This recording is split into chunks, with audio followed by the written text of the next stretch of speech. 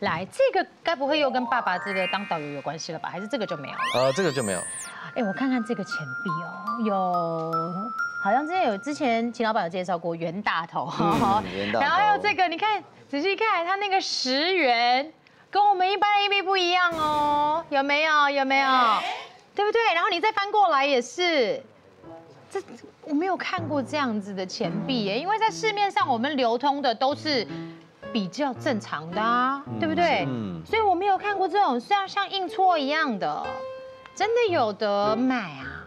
呃，这个其实是在二十年前，那当初在美国的时候，是。那我爸呃有认识一一对夫妇，他们也是台湾移民过去的，是，我让陈老板看。那他们就有哦收集这些呃收算算收藏这些呃注释币，嗯，你说注释币啊？对，哦，那个就是呃比如说中央银行那他们在印钱的时候，他们会印一些样品，对一些就像我 sample，们衣服要做之前会先打版，是。这是它的一个可能印坏的，对。然后呢，那印坏的，那大部分他们就会把它就是嗯，销就是直接呃销毁。哎，对啊，那怎么会流出来？那呃有一些他们就是可能就是呃留留着没有把它销毁，哦，对，然后就自己收藏起来。是，那那时候在美国的时候，我爸就有认识到呃这对呃夫妇，嗯，然后他们就说他们想要把这些呃钱币把它呃换换成呃现金，是是是对，所以爸爸就跟他买了几个，呃应该是全部都收收起来。哦，收很多，对这只是其中一小部分。对对对。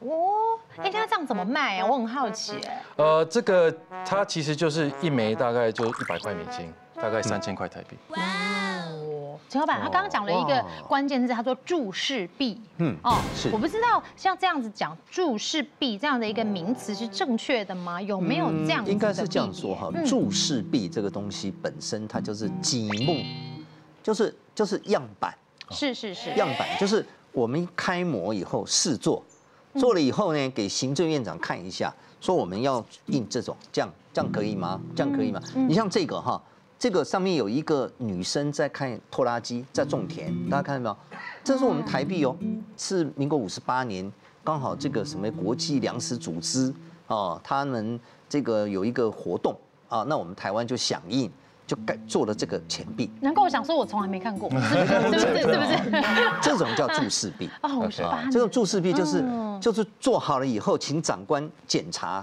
五五上不稳得不？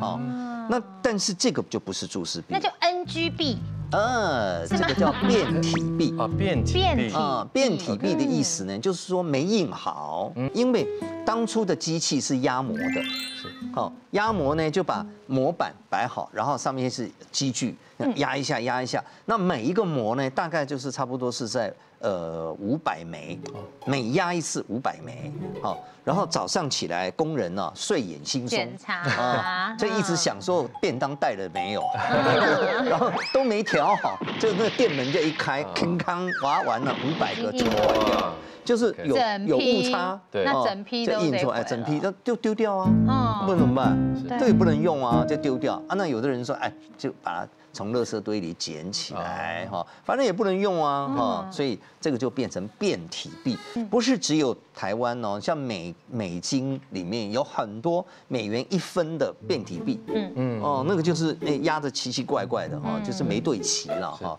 所以呃那个价格应该不是很高，像这种变体币哈，呃价格应该不是很高，嗯，哦不是很高，可是。呃，每一个大概嗯也有一定的行情，哦，也有行情。我刚刚差点想说，还没见教就要讲出来了，是不是？果真秦老板真的是太会留一手了，所以等于说每一个大概就是一百美金，三千台币的概念。是是是哦，那也要看呐，也不能说每一个都呃都在这个行情。那是不是错的越离谱，NG 越离谱，价格会越好呃呢？，不是，他应该说越少有这种呃错误的越值钱。哦，怎么说呢？比如说现代的制这制这个制作硬币，它基本是零故障，啊，都是电脑的，它不可能错。对啊，对，嗯，你要搞一个错的都不可能。可是以前就比较可能嗯啊，所以量多价格就低嗯，啊啊量量量如果一点点，比如说总共才五枚，哇，那就很贵了。哦，嗯啊，这个就是呃以这个市场需求来做标准嗯哈，呃，就比如说这一元的对，啊，一块钱变体币哈，嗯我们来评估一下，好好不好？我们就先用一元的，好不好？好，来来，请请，见价。两千五百元，嗯，这个一元的哈，是那我有看到您这个也有五毛的，对不对哈？五五角的哈变体币哈，嗯，这这也是一元的变体币哈，嗯，这个这种可能就比较比较比较比较多了一点，是啊这种比较多哈。好，这边是个袁大头，哦啊，这个袁大头哈，我们来看袁大头假的也很多哈。对，金老板有讲过，看哎看真假我们，趁这个机会跟大家讲一下袁大头怎么看，嗯好不好？首先袁大头哈，它的呃所有的银币大概都是在百分之八十八嗯，的银，不是纯银哦，啊，百分之八十八的纯银，所以它的重量大概都是在二十六点六左右。好哦，呃，那它的那个齿边，对。最重要是那一圈齿边，对。是一个很重要的关键。哦，好，我们来称称，先称重量，然后待会来帮你看看他说的齿边，好，嗯，好，二十八哈，嗯，二十八哈，二十八，也嗯，就是说，差不多。连这个包装纸，是哦是是是是，来，我们来看一下这个齿边，好吗？好，齿边，因为哈袁大头假的实在是太多了，嗯，防不胜防。嗯，啊，在这边先略略的跟大家解释一下，大概要怎么看。以后看到袁大头，大概按照秦老板教你的方式，你大概就可以看出一个所以然然来了哈。因为银的比例就是八十八，所以它重量是固定的。哦哦，好吗？来，我们来看一下哦。好，来，我们来看一下这个齿边哦。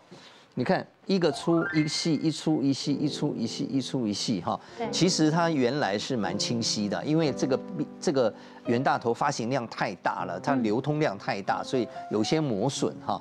啊，这个是一个大家要注意的这个齿边哦。呃，这个齿边是一个呃正确的哦是正确的好它是一个真的袁大头。重量也对，重量也对齿边哦也是正确的，嗯是正确的那这样一枚现在价值多少呢？好来请见价。五千元哇，，这个值钱，这个值钱，值钱，对啊。这啊个，这个呃呃品相还可以是。啊，品相还可以。